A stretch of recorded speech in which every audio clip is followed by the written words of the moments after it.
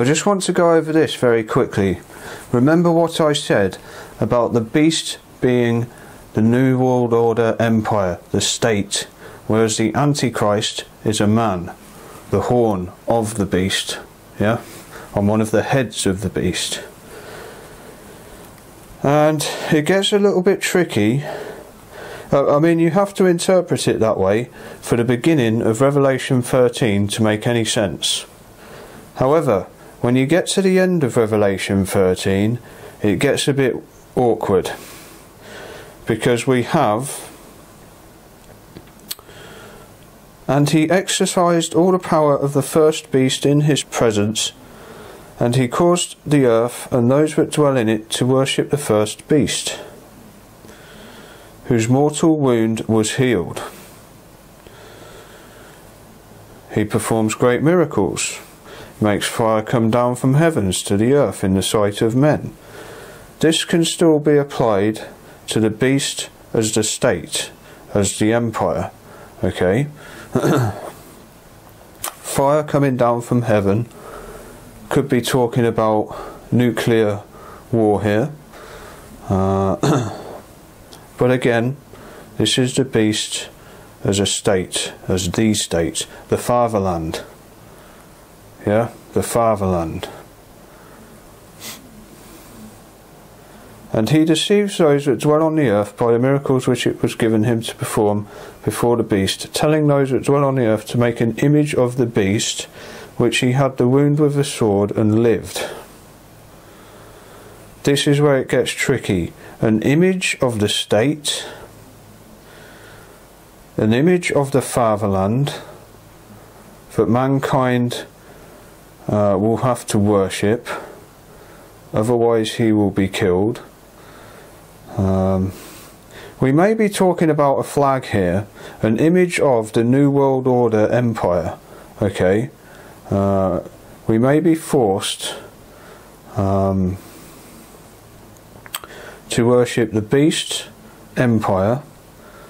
Yeah, with flags and so on, um, posters, all this kind of propaganda propaganda promoting the fatherland, and then also the Antichrist.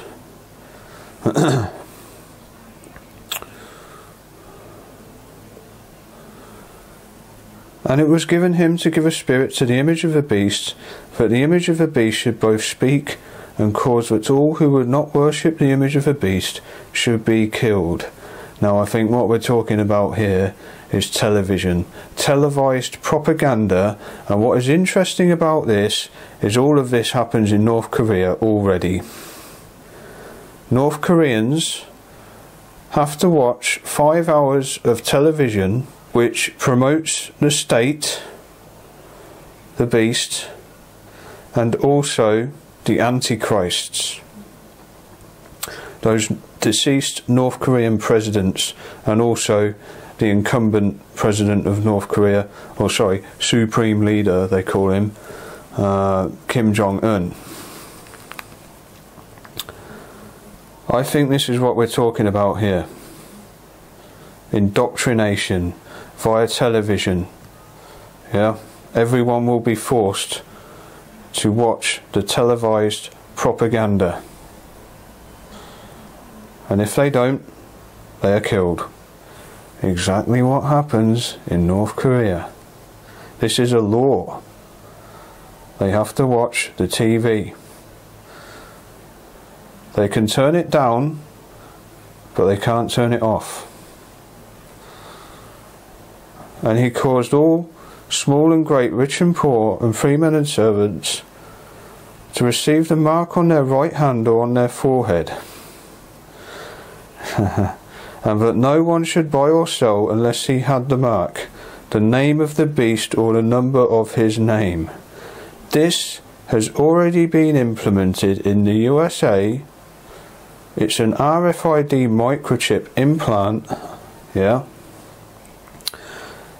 And this mark of the beast is a mark of the states, the nation, yeah not an individual. the beast as a nation, the fatherland. This is a biggie. You gotta love this one. Here is wisdom. Let him that has a mind count the number of the beast, for the number is man's. It says man's. It doesn't say it is the number of a man or a number attributed to a man, uh, the name of that man. It says the number is man's. The number of man is six. And his number is 666. What I find very interesting here is this fictitious area code used in uh, movies in, in America uh, 555. Yeah? 555. You've probably heard it in, in the movies and so on. What is this? It's a number of the state, not a man, not a man of that state, not not the Antichrist. It's a number of the state. It will be the uh, prefix, yeah, to a personal uh, identification tag, a serial number, like what was issued to the prisoners of Auschwitz yeah, the prefix to an individual serial number. 555 in the movies, yeah. In Revelation 666. And what does it represent? Not the Antichrist himself, but the state, the kingdom, the empire, the New World Order empire number being 666, the mark of the beast, the number of the beast, Satan. The fiery dragon in Revelation 13. What form does Satan take when he is let loose after the 1000 year millennial reign of Christ in Revelation 20 verse 7 and 8. Gog and Magog. I rest my case. If the fiery dragon represents Satan, then Satan on earth is Gog and Magog in Revelation 20. So in Revelation 13, Satan is also Gog and Magog, the communists of the East. They keep coming back. It's communism throughout Revelation. That is what we are talking about here. Nothing to do with a pope. Okay? Uh, a pope isn't mentioned anywhere in the Bible. Many say he will be the false prophet, and that he is the false prophet.